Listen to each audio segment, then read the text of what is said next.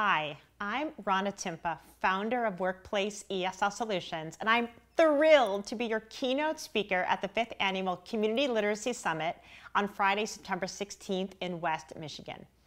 Our topic is the pressing issue of low literacy in the workplace and how it's a hidden problem when it comes to finding talent and developing employees. I'll begin the talk with how low literacy affects the labor and talent pool. And then we'll move to defining ESL and ABE in terms of workplace literacy. Next, we'll discuss talent challenges and workplace skill gaps. And finally, I'll share some solutions so you, the business leaders, local public officials, and community leaders can take action today or maybe tomorrow. You will walk out the door with ways to integrate literacy into the workplace.